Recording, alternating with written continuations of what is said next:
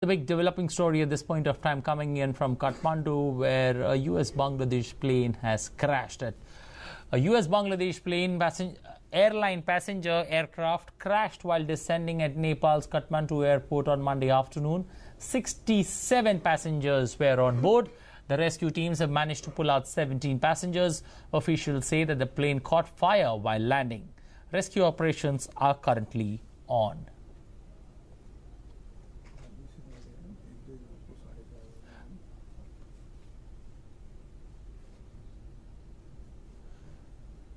Well, we've got we've got a we've got a correspondent uh, Rishi Dhamale there, a journalist from Kathmandu, joining us on the phone line to give us more updates on this particular tragedy. Good afternoon, sir. Give us more updates on what exactly happened at this point of time. Uh, uh, give us the number of people that were on board on that particular plane and the res- rescue operations currently on there at Kathmandu airport. हाँ अभी rescue हो रहा है लेकिन अ, उद्धार कार्य करीब करीब समाप्त हो गए हैं कि यहाँ अभी जो प्लेन दुर्घटना हुआ, उसमें बांग्लादेश के साथ दुर्घटना में चालक दल, चार सदस्य था और पैसेंजर था सड़सठ लोग था।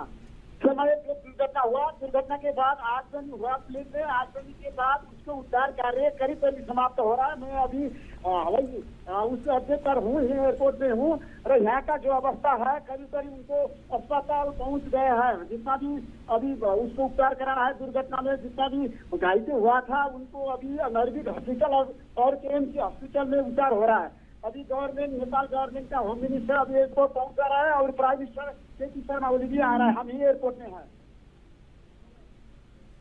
hello Hello, yes, I can hear you. You know what exactly happened? That did the plane skid off uh, from the uh, from the runway and from the ground ground जो आप airport को अंतर्राष्ट्रीय विमानस्थल में जो पहले land करने वाला था उसको Okay.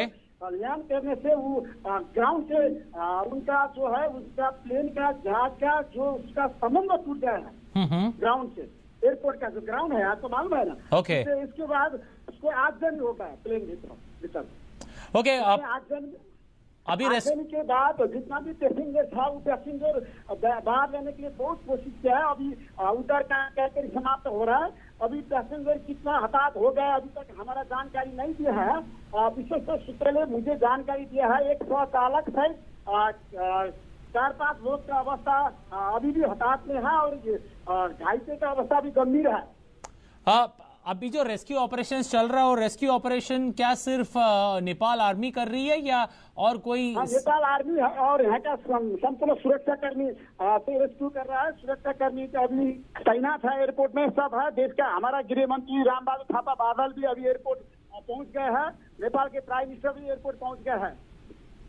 अ, आपको क्या लगता है अभी कितने लोग वहाँ से बचकर निकालने में कामयाब रही है जो नेपाल की सेना और जो अभी तक अभी तक मुझे विशेष सूत्रालय स्पेशल सूचना मुझे प्राप्त मैंने किया हूँ। बाईस लोग आ, का अवस्था अभी गंभीर है और कितना हताहत है अभी तक आधिकारिक अधिकारी हमारा सिविलाइजेशन ने नहीं दिया है। हम उनसे अभी पूछ रहा हूँ मैं बातचीत कर रहा हूँ। यहाँ का संजीव गौतम जी है अतुरेश जी का चीफ है। उनसे मैंने बात किया है। आगे अभी तक किसी को नहीं हताहत के बारे में हम बोलना नहीं सकेंगे, उससे क्लियर कट पता है। इस बारे में अभी हम हॉस्पिटल में जितना भी घायलों को उपचार करने के लिए हॉस्पिटल में अभी सब लोग पहुँच गए हैं। इसके लिए हम हॉस्पिटल नज़दीक और केएमसी हॉस्पिटल जाकर उनको फाइनल हो सकता है कितना हताहत है, कितना का गंभीर घायल है, कितना घायल है उपचार जारी है यहाँ।